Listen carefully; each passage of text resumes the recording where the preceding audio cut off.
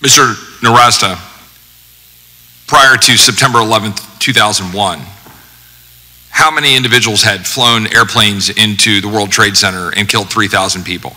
Uh, zero. Thank you. Mr. Scott, how many gotaways have there been? 1.7 million known. That means there's evidence, video, whatever, but I can't give you an estimate on how many we don't know in the hundreds of miles of border that are not being patrolled. Mr. Nowrasteh, where are those 1.6 million gotaways?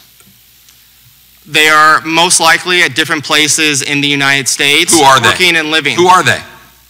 Well, there are probably people from different countries around the Probably, world, sir. probably, people from all around. Oh, around they the are world. from different countries around Right. the world, yes, sir. Yeah. How many different countries? Uh, well, if the data that we have uh, about those who are apprehended is any indication, a large number of countries, probably about uh, 162 of them from all over the world? Probably, yes, sir. Right. You willing to bet your family's life, my family's life, on the safety of in our country, irrespective of who these individuals are when you don't even know who they are?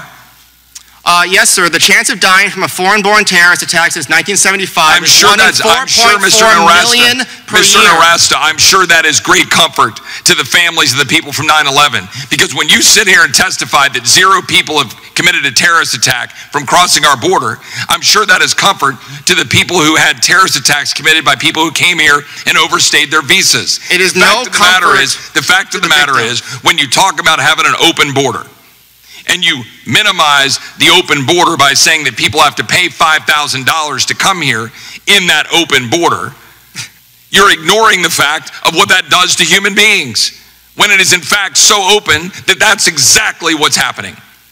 I'm sure that your position is great comfort to the man in Baltimore who was being held up for ransom for $23,000 so that his little girl wouldn't get raped in a stash house in Fort Worth. Have you talked to that little girl or to that father? Was he a terrorism suspect? Have you talked to that father, Mr. Nowrasteh? Uh, No, I'm not aware of that terrorism case. What was his name?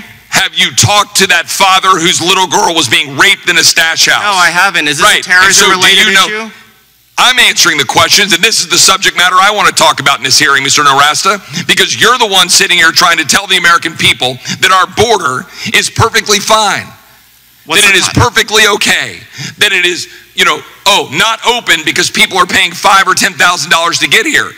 So it is very much relevant that a little girl's getting raped in a stash house because of the policies of you and radical leftists who don't give a damn about it because it is more politically expedient for you to saddle up to the Libertarian Cato Institute or a bunch of radical leftists and talk about, oh, how important it is for people to free flow across borders. I have talked about the chaos That's the repeatedly, sir. The way to reduce the chaos is through legalization and liberalization, Right. not cracking And- down right. more. Will- if you cared about the border chaos, that is the way to do it. perpetuate the lawlessness, and you know it.